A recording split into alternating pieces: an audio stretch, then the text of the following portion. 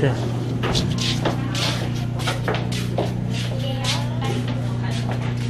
โอเควิดีโอนะ สวัสดีค่ะทุกคนก็วันนี้นะคะ มาเจอกับเดียนะคะ วันนี้มาเจอกับคลิปใน part สองนะคะ มาดูกันดีกว่าว่าหลังออกจากห้องผ่าตัดแล้วเดียจะเป็นยังไงนะคะ ก็พอหลังออกมาปุ๊บเดียมึนมาก แล้วจากนั้นก็ปวดฉี่ตลอดเลยเดินเข้าเดินออก เข้าห้องน้ำตลอดเลยนะคะ แล้วก็แบบว่ามันจะมึนๆงงๆแล้วก็มีสายเดรนเลือดมีสายน้ำเกลือหลายอย่างมากๆเลยนะ แล้วก็ 3 ชั่วโมงแรกนะคะเขาก็ห้ามนอนนะคะ แล้วก็ห้ามกินน้ำกินอะไรเด็ดขาดเลยนะคะ ต้องนั่งหายใจให้แก๊สมันหมดนะคะ อผ่าน 3 ชั่วโมงแรกไปได้เด็กก็เริ่มพยายามกินนมแล้วนะคะเพราะว่าหิวมากเลยว่าเขาทำให้ดีกว่าไหมเอ้ยเนาะแล้วก็หลังกินนมกินน้ำเนี่ยเราต้องบ้วนปากให้สะอาดด้วยนะคะ โดยใช้น้ำยาของเขาเนาะมันจะเป็นเหมือนยาฆ่าเชื้อต่างๆ เพื่อกันการติดเชื้อ หรือแผลเราจะอักเสบได้นะคะ นั่นแหละ สรุปคืนแรกก็คือยังไม่ได้นอนเลยนะคะลุกขึ้นมาฉี่ทั้งคืนจนถึงเช้าเลยนะ แล้วพอตอนเช้าเนี่ยก็จะเจอกับพี่มะเหมียวอีกรอบนึงนะคะเขาก็อธิบายการดูแลตัวเองหลังจากการผ่าตัด หลังจากกลับไปที่พักเราต้องดูแลตัวเองยังไงบ้างกินยายังไงบ้าง ข้อควรระมัดระวังคืออะไรบ้าง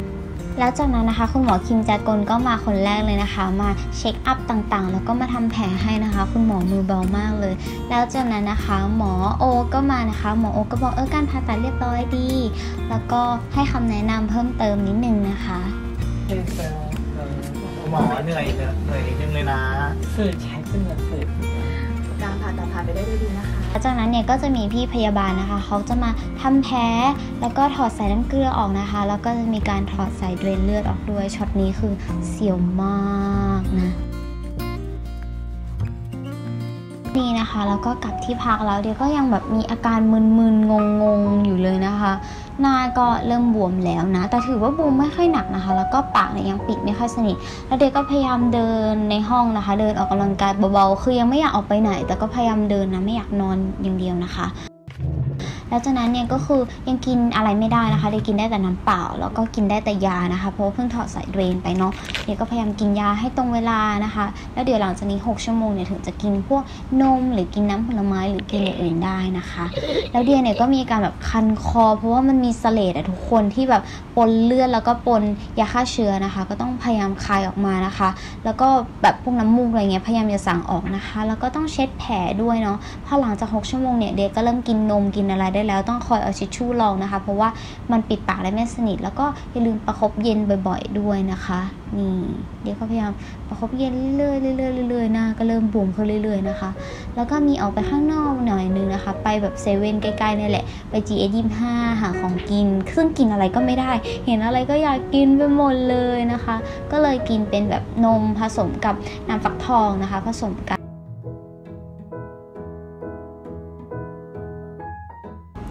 แล้วก็วันต่อมานะคะ ก็มา check up แผลนะคะ มาเจอคุณหมอด้วยคุณหมอก็มีทำแผลให้เช็คความเรียบร้อยนะคะ แล้วก็วันต่อมาเนี่ยตอนสักบ่ายๆเราก็เริ่มแกะตรงเนี้ยไม่รู้เขาเรียกอะไรสติกเกอร์เหรอที่มันติดตรงเนี้ยคือมันแน่นมากเลยทุกคนต้องเอา baby oil นะคะ ค่อยๆเอาออกนะคะ ใช้เวลานานอยู่แล้วก็พยายามเช็ดคราบกาวออกด้วยนะคะ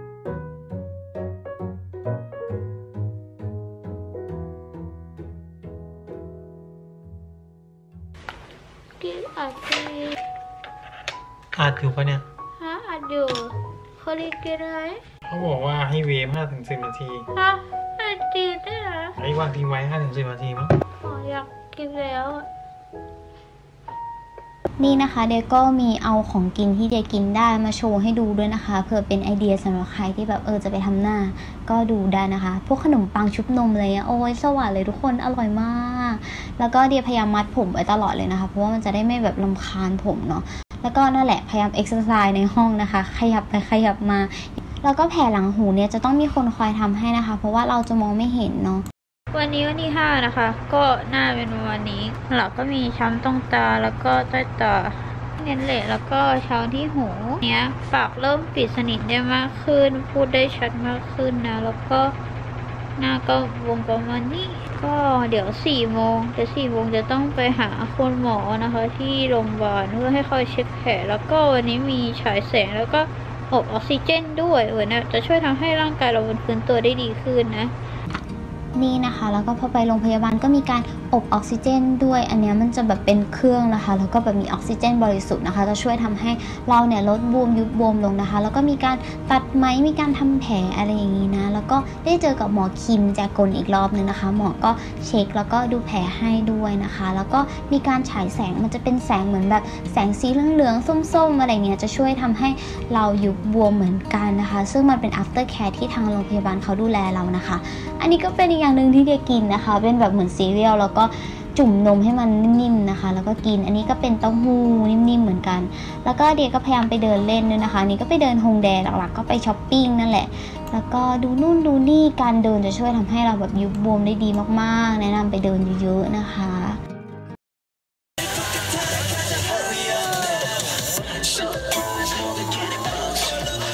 แล้วก็นี่นะคะเดียก็มีไปโรงพยาบาลอีกหนึ่งรอบนะคะ วันนี้เนี่ยก็คือมีทำเป็นทรีทเมนต์ใช่ปะทุกคน มันสบายมากๆเลยแต่บางจุดก็แอบเจ็บนะ เพราะว่าแบบว่าหน้าเรายังแบบระบมอยู่นะคะ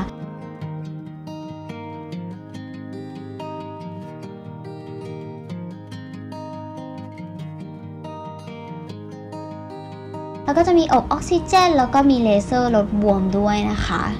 แล้วจากนั้นก็มาเจอหมอคิมแจกลเพื่อเช็คอัพอีกหนึ่งรอบนะคะ หมอก็แบบมีอธิบายส่วนต่างๆนะคะ แล้วเดี๋ยวเราก็จะมีแบบ CT สแกนแล้วก็เอ็กซเรย์อีกหนึ่งรอบนะคะ เพราะว่าเดี๋ยวจะต้องไปเจอกับหมอโอนะคะ ที่เขาทำโครงหน้าให้กับเรานะคะ เนี่ยมาเจอหมอโอหมอโอก็มีถามว่าเออเป็นยังไงบ้างอะไรอย่างเงี้ยอยู่เป็นปกตินะคะ แต่ว่าอาการบวมจะค่อยๆลดลงนะคะ นี่นะคะเราก็ลดหน้าซึ่งเราต้องลดตามตารางนะก็คือ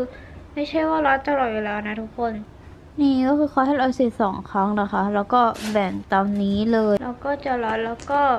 มีประคบอุ่นไว้ด้วย เพราะว่าตรงนี้เรามีรอยช้ำที่ว่ามันจะต้องประคบอุ่น แล้วก็เฮ้ยนี่